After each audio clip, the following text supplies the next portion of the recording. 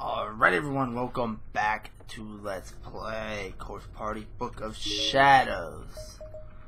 Okay, so I think it maybe it wants me to go up this way now. Or not, a large hole in the floor, won't be possible to go further down the hall.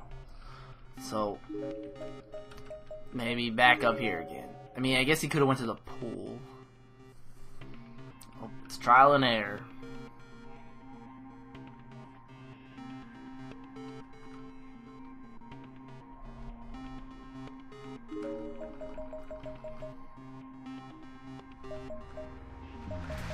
Okay, why couldn't I go up here? Shig, where are you? I've been looking all over for you. Are you over here? I just want to see you. No, no, stop it, Mayu. If you start crying over something like this, imagine how badly Shig would tease you about it later. Another earthquake. Tremors were so intense I was unable to keep standing. I fell hard on my bottom and watched as my student ID slipped from my skirt and into a hole. The scrap of paper from the Sachiko charm must have shaken loose in the process. It slipped down and snaked its way haphazardly onto the floor. Well, you need that. Was it finally over? I cautiously pulled myself back to my feet, and that's when I realized that the floor, no, the whole hallway had changed. Cracks and holes in the floor had somehow been sealed up, and a window that was there before was now completely gone. I couldn't really come to terms with what I was seeing. Was this reality? What kind of hell was I stuck in anyway? I was getting goosebumps all over my body, and my mind felt like it was shutting down. Then I saw this Chico charm scrap and snap back to my senses. God, I've got to be more careful. I almost lost this. I scooped it up, thinking of Shig standing next to me and everyone else smiling and laughing during that ritual. My body was trembling in fear, and my vision was beginning to blur. This place was taking its toll on me. Pleasant memories of friends were all I had left.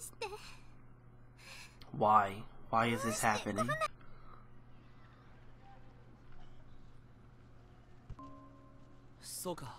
So in other words, they won't let us use the cultural assembly stage? Unfortunately not. I got his permission to use it on the phone, but I guess that really doesn't do us any good if the advisor in charge isn't on board. Okay. Something nonsense. Not much we can do though. Our own advisor isn't exactly known for his enthusiasm in putting on a show outside of school would have its own problems. And you're content to just leave it at that? The script is already finished, you know. Maybe I should try to hand try my hand at negotiating. Just because they're adults doesn't mean they necessarily deserve all the respectful platitudes we're expected to give them after all. Go for it. What's so funny? Oh, nothing really. I was just thinking how cute you look when you're mad. Don't be stupid. I'm kidding, I'm kidding. Really. I'm just happy you're here to get upset over something like this for me. Well, I'm not good with conflict, so it's just kind of refreshing that you get angry in my place. Quirky as ever, I see. By which you mean I've got lots of personality, right? Just another reason I'm the poster girl for the drama club. Yes, I suppose you could say that. Of course, I do more than just act. I also write scripts, I produce, I make costumes. Stuff being such a renaissance woman. You are very strong, my Mayu. You're a strong person. Even when things are looking down, you always have a smile on your face, and you've always been so mindful of family and friends, much more so than I. You're always willing to shed a tear in sympathy when times are tough, no matter who's watching. Come on, Shig, is that supposed to be some kind of pickup line or something? I mean, you're the one who's always saying I'm unreliable. No, I'm simply speaking from the heart here. There are different kinds of strength in the world, after all. Yours is, how do I put this? Yours is bountiful. It's a strength that never falters. No matter what trying times away, no matter how many times you stumble and fall, you're the type who will always get right back up and try again. It's a substantial strength too, substantial enough that even a cold human being like myself can plainly see it. Shig.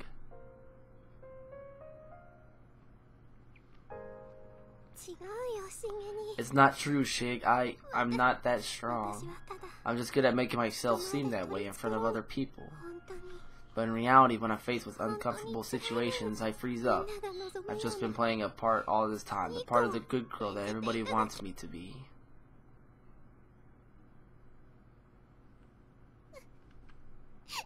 Shig, save me. You must be laughing right now, saying, Mayu so lost without me, or something. Suzumoto ka? Suzumoto?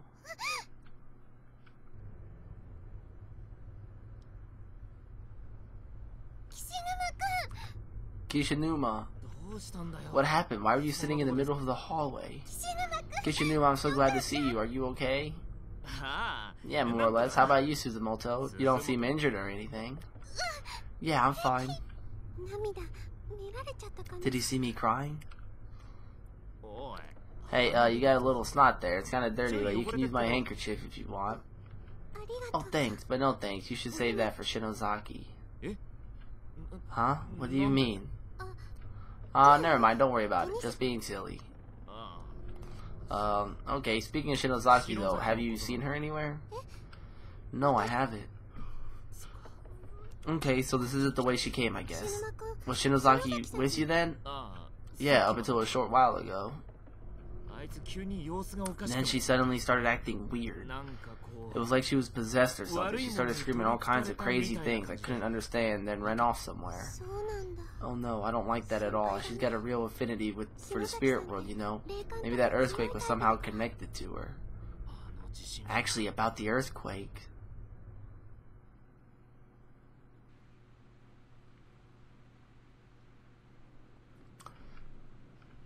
Kishinuma sure was taking his sweet time. He went off to search the poolside area by himself, citing the heavy rain as an excuse for me to stay indoors while he gallantly got soaked in my place. I went along with it because I thought it seemed unusual chivalrous coming from someone like him, but he's a rank amateur in matters of the spirit, so I was beginning to worry he'd gotten himself attacked or something. And that worry was just starting to just starting to turn to panic when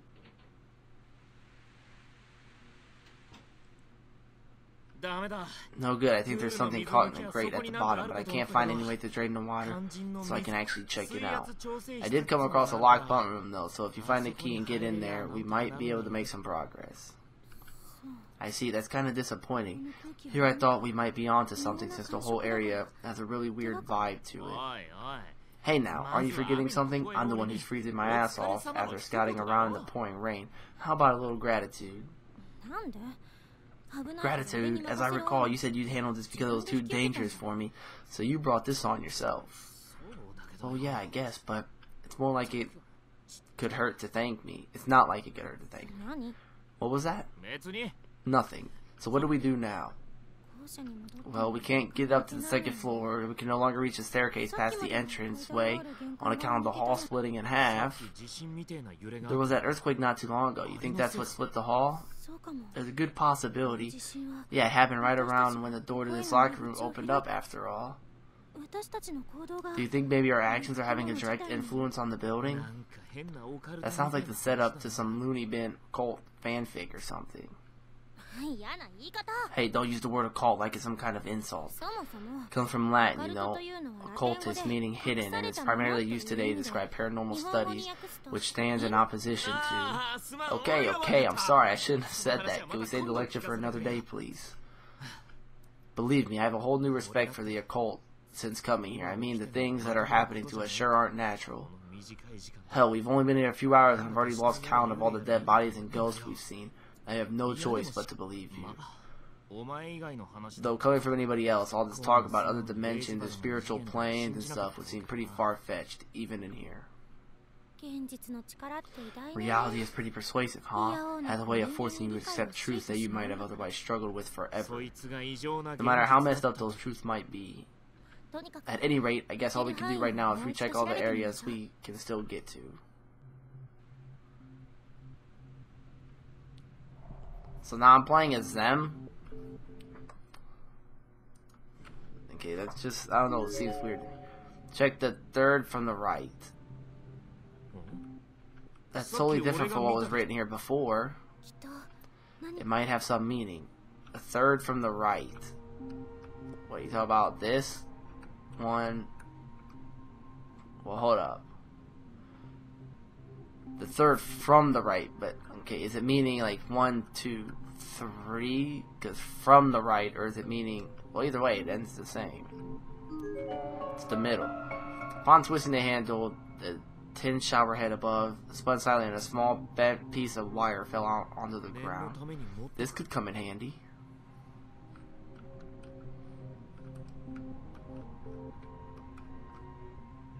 Okay, yeah, and then there's nothing else in here. Okay, so where where's the crack at? Exactly.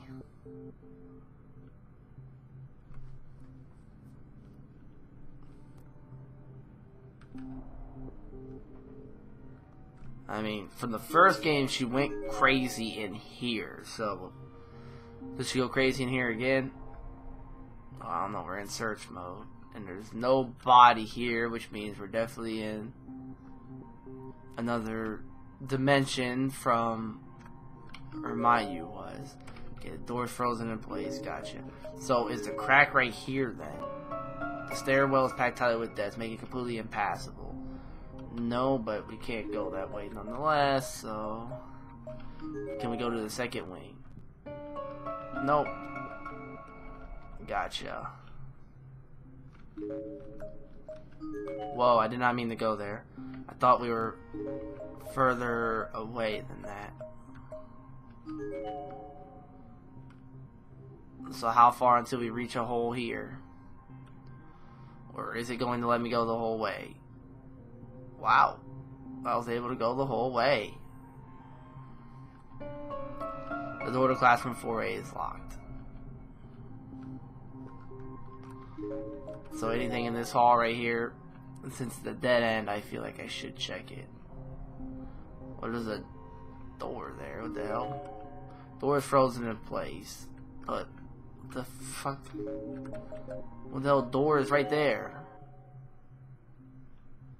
I don't remember a door being there. And it doesn't show up on the map. Well, we got a ghost in here. A spirit.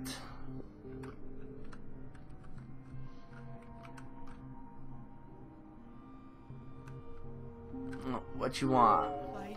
Make sure you don't meet his gaze or your soul will be broken. Meet whose gaze? There's a red chalk drawing on the board that looks kind of like a tomato smashed against the wall. Based on the crudely colored shapes and uneven lines, it was likely drawn by an elementary school student. And the arrows pointing to the tomato was a big label written in sloppy letters. Girl Gold Flat. There are fully fossilized remains of yet another student. This one seems particularly small. He's probably in 5th or 6th grade at most, with a name tag attached to his clothing. Okay, so don't meet the gaze of somebody. Like, this is the janitor's room right here, right? Yeah. Custodian's closet is frozen in place.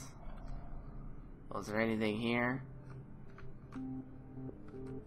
No, nothing. There's got to be something somewhere around here because there's nowhere else to go.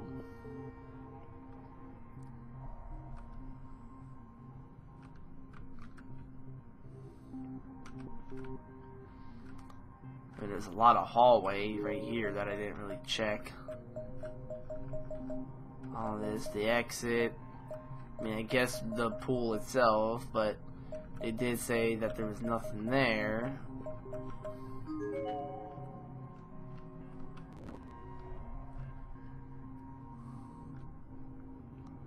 Yeah, we'll just go straight to the pool. I really do not like having to check each and every one of these hallways. I meant to go to the pool, but you know, it's whatever. Under the body right there. Anything else I can like examine? There's a comparatively fresh corpse floating in the pool. It looks to be that of a female middle school student based on her uniform and relative size. The back of her head seems to have been bashed in, revealing white skull and pink brain tissue through the parts in her hair. She must have been struck pretty hard. Her student ID name is floating right next to her with big bold letters, making it legible even from a distance. So great. That means there's something in one of these freaking halls.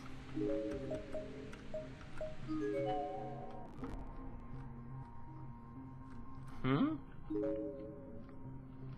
Oh, it's having me face the locker room. Just lost. Like, where the hell?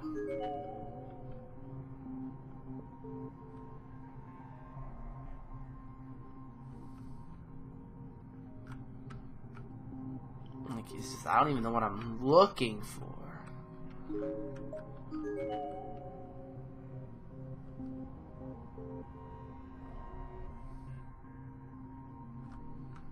I mean, yeah, there's like literally nothing in any of these. The only thing I can say is like that classroom that I was actually able to go into. Because like nothing. Like, I'm just doing real quick lookovers of these halls to see if I can find anything. To like, well, okay, there's a body in this one. Decayed corpse based on outfit and height. It appears to be a junior high school girl. There's a student ID on the tag on the ground. Okay, so we're pretty much the same.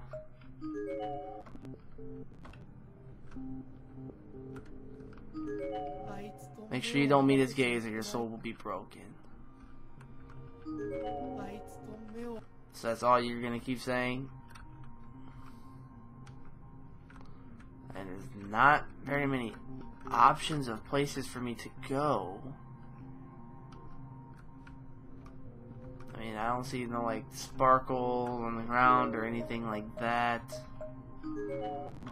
Like, what what's this hallway look like? Nothing. A bunch of nothing. Like, I still don't get what this door right here is. And I don't know what it means by don't meet his gaze. Who? The door is locked up tight.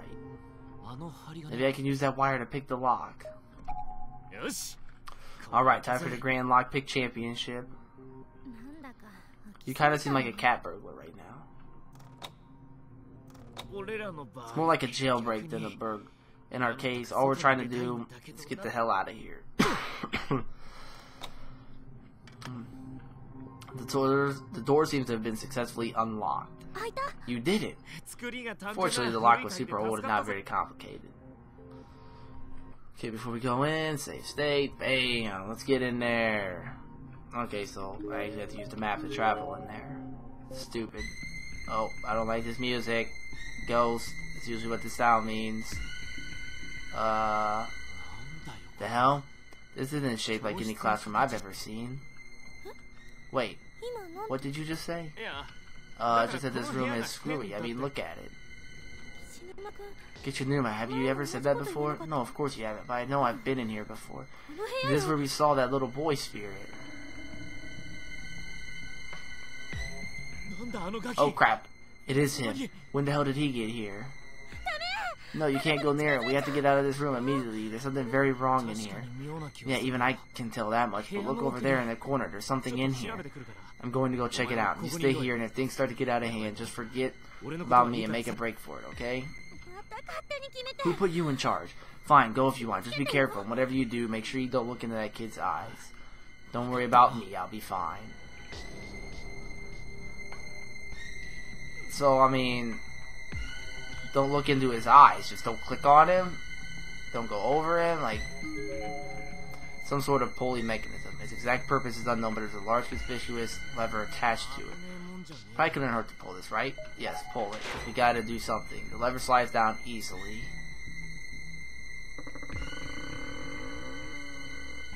Okay, it opened a hidden door at the custodial closet. Did that do anything? I don't know, just get back here. あ With pleasure. Oh, bye, little boy. So, that's how you, like, face a ghost on here? You just don't click on them? That's a little lame. Okay, I'm gonna do another save state. You know, I just want to be careful here because I'd rather not have to edit or replay any of this stuff. The lever appears to have opened a trap door in the wall, just wide enough for a person to fit through. Looks like this goes somewhere. I don't like it though. It gives me the creeps, even more than the pool or that classroom. Yeah, but there's a chance it might lead outside. Well, we have no choice but to go in. Alright, I'll go first to make sure it's safe. You wait here. No way am I letting you go by yourself. When it comes to ghosts and curses, you're about as clueless as they come.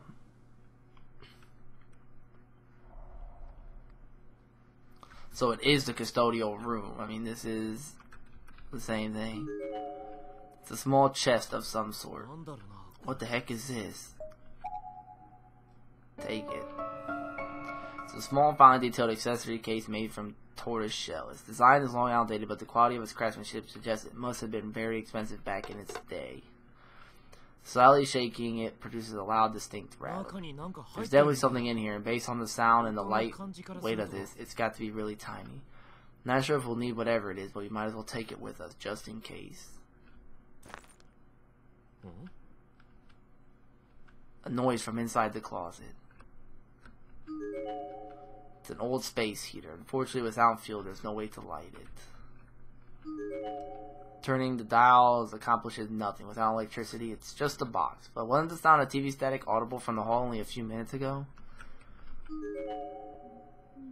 Bitter. It's bitter. It's wearing down my back teeth. Crunch, crunch. Crunch, crunch. Ah, that's why I said we should stop this. I want to go to karaoke again. But not with all this deafening sounds. My toenails are gone, so I can't walk. Quickly turned around to find Shinozaki excitedly mumbling something to herself in a low tone. Her whole body was slanted with her head leaning against the wall and she was completely focused on one specific section of empty floor. Shinozaki? Shinozaki? Mind your own business, goddammit. What do you mean? Should I not have taken this chest or something? What's wrong? Shinozaki then began repeatedly banging her head against the wall. The motion was almost rhythmic, as if in time with the ticks of a clock or a metronome. Hey, cut it out. The hell is wrong with you? Always, always. You always do this. What was it you said? Because we're friends? Well, I can take care of myself. What's with that look? You just hold on a second. Uh, my throat is burning up. Uh, it stinks. It's rancid. I have to run. Why would you do this to me? You're my sister. Well, you could die too. What? I'm lost right now. After stumbling around almost drunkenly for a few moments, Shinozaki suddenly took off running. She leaped through the trap door and out into the hall. What the hell was that all about? Wait, there's no time to be standing around. I've got to go find her. She's certainly an interesting specimen. Who's there? I'm not certain where she came from, nor when or how she got here. She seemed to be about the same age as me. She looked mostly normal, but her eyes were much less vibrant than they should have been, appearing flat and lifeless like those of a dead fish. Her name was Naho Saenoki. I guess you could say I'm a medium come writer, come high school student or something like that. Or I was anyways when I was alive. When you were alive, are you telling me you're a ghost? Regrettably, that's exactly what I am. Are you one of that little bastard's friends then? The hell did you do to Shinozaki and why did you trap us here in the first place? Oh my, I think there's been a misunderstanding. I, like you, am essentially a victim, though there's a little more to it than that, of course.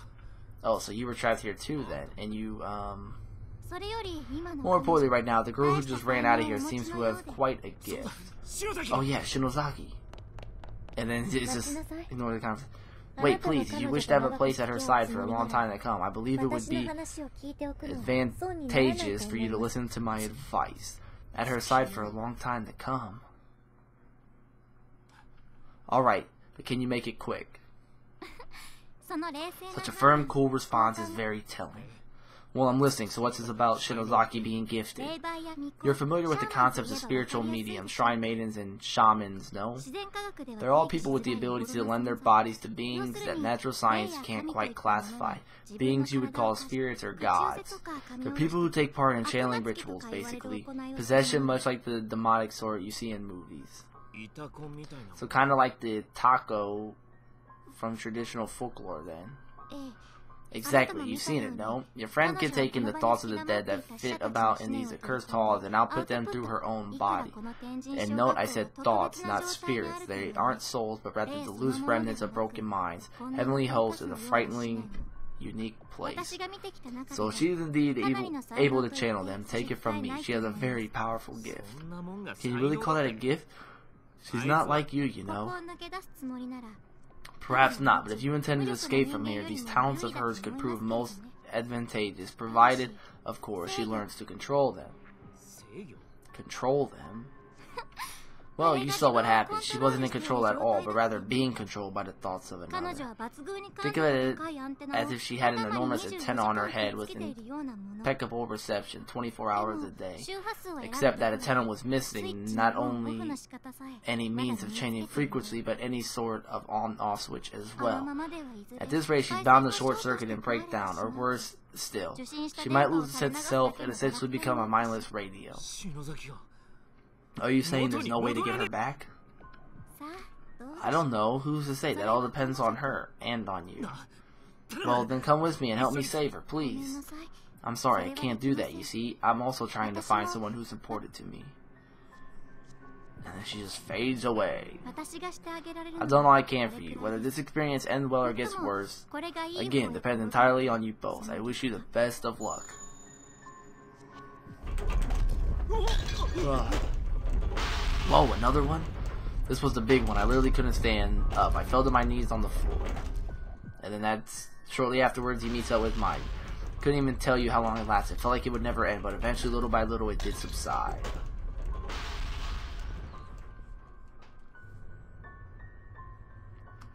I stood back up and surveyed my surroundings, but as expected, the ghost of the girl was nowhere to be seen anymore and this particular quake felt like it shook the very foundation of the entire building. Shinozaki was all I had on my mind. She was in serious danger. I just don't know what the hell is going on anymore. But there's one thing I do know, it's that I have to be there for her no matter what. Shinozaki! that yell was pretty funny.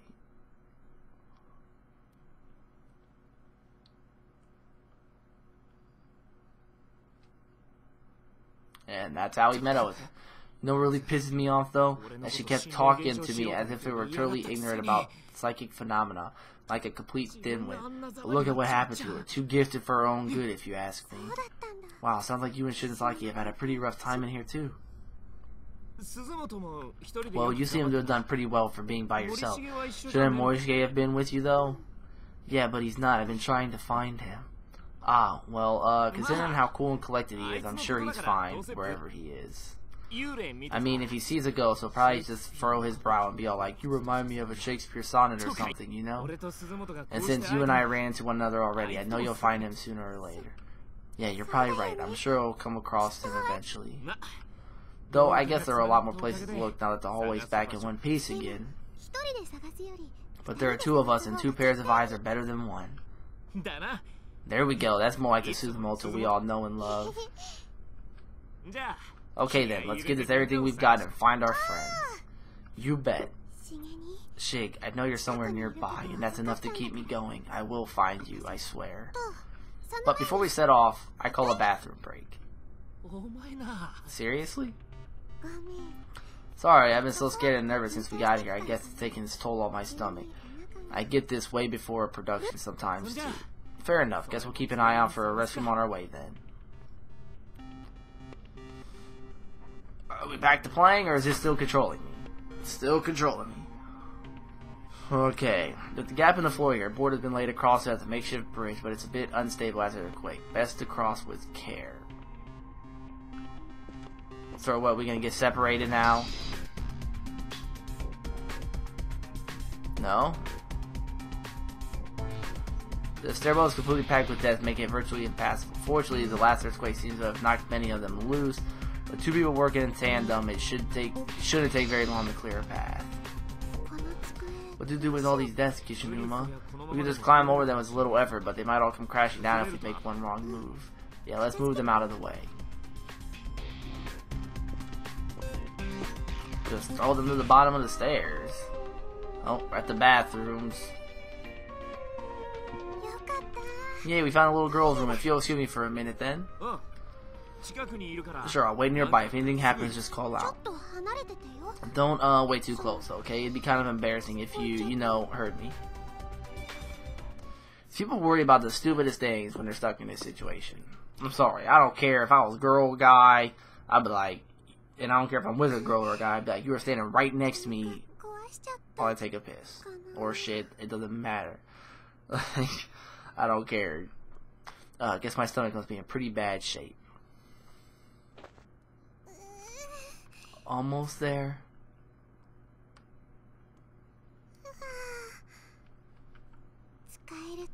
So glad there was a usable toilet in here. Alright, good to go. Mm, what's this? Did I hit my stomach on something? It's all red. When did this happen and how? Even if I had hit my stomach on something, who ever heard of someone's belly getting bruised? I took a closer look and found myself momentarily breathless. what? What in the world happened to me? The reddish purple bruise was like fault lines emanating out in four directions with my belly button serving as the epicenter. It almost looked like a weirdly colored spider web attached to my skin. What's wrong? Nothing. I'll be on in a sec. Sorry to keep you waiting. I feel much better now. Glad to hear it. But then I tell you to keep your distance. What? I, I did. You were just kind of loud there for a second. You seem startled. Is everything okay? Oh, yeah. Sorry to have worried you. So, uh, how about you? Are you good on the bathroom situation, or do you need to go too? Well, uh, the boys' room is kind of occupied when you open the stall door. There's this guy's voice that yells out, shut the goddamn door. Oh, I can see how that might make it tough to go. Well, let's just put this out of our minds for now and focus on finding Shinozaki, okay? Sounds good.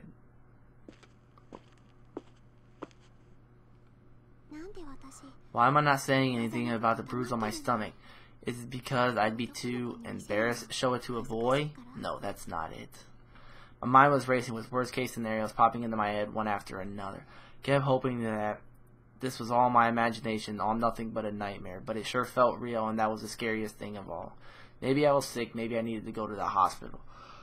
Couldn't stand all this uncertainty.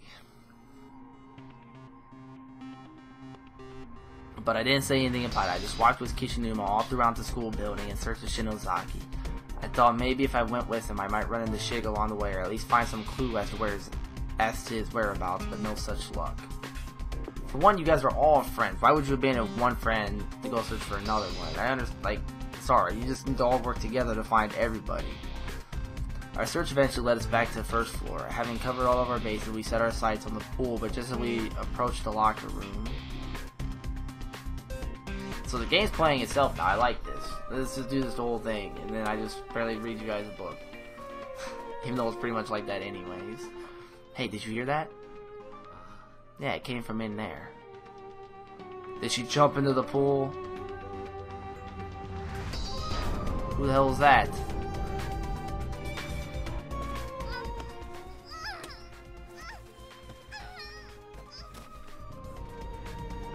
girl who looked to be around middle school age had been laid flat on the floor. Both her arms were bound and her eyes and mouth were covered with sash-like strips of cloth. She was obviously being held against her will. She was kicking both legs and writhing around frantically, trying to break loose from her binding, but it didn't seem likely that she would succeed. Oh god, we have to save her. It was only after saying this that I noticed the bruises on her legs. Those weird markings looking awful like the ones on my stomach, or am I just paranoid? Regardless of what caused them or how they might relate to my own injury, this girl had markings like rope burns clearly visible on her slender thighs. They were particularly bruises that looked almost like letters, as they'd been signified something that was just beyond our ability to decipher. Hey, Earth is Suzumoto. Oh, sorry. Hang in there, I'm going to loosen these bindings right now. Wait, stop! Take a closer look. This isn't going to be so easy. Grab my arm to hold me back. I was a bit confused, but did as he suggested, and it didn't take me long to see the problem. The strips of cloth holding this girl to the floor actually seemed to be rolls of gauze, and whoever bound her like this really did a number. The gauze was stretched haphazardly all across the room's furnishing. Several strands of it were then projected upward to the top of the nearest cubby shelf, where they were wrapped around the neck of a plaster bust. And from there, they extended up to the ceiling, where they were wrapped tightly around the handle of a bucket suspended into the air suspended right above the girl. In other words, if we pulled on any bandages the wrong way or moved any desk, the plastic bus might fall, and if that happened, the bucket would spill right onto her. But what's in the bucket? I wonder what the hell is in there. Maybe it's nothing. But what if it's not? Help.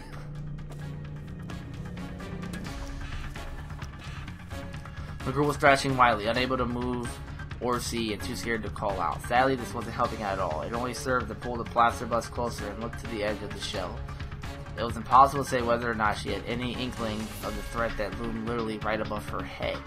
It seemed increasingly likely that she was the intent behind the trap. If the victim attempted to escape, she would only wind up killing herself. What do we do? What can we do? Don't panic, we just need to find some way of getting that bucket down from the ceiling. Can you reach though? I think we should remove the bandages on her face first and try to calm her down. Either way, there's no time to lose. We have to do something and we have to do it now. Okay, since this is probably one of them you fail, you die kind of things, and the part's been going on for a little bit, I'm gonna end it right here. So, thank you for watching. Be sure to like the video and subscribe so you don't upload the next part.